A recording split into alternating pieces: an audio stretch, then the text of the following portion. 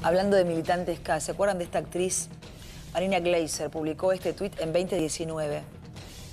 Qué lindo es votar con Axel Kisilov. Ahora publicó este otro. Me voy a trabajar a Brasil por tiempo indeterminado. Entonces en las redes le pusieron. Empezó votando al kernerista Axel y terminó huyendo a los brazos de Bolsonaro. La única verdad es la realidad, decía el general. Impunidad.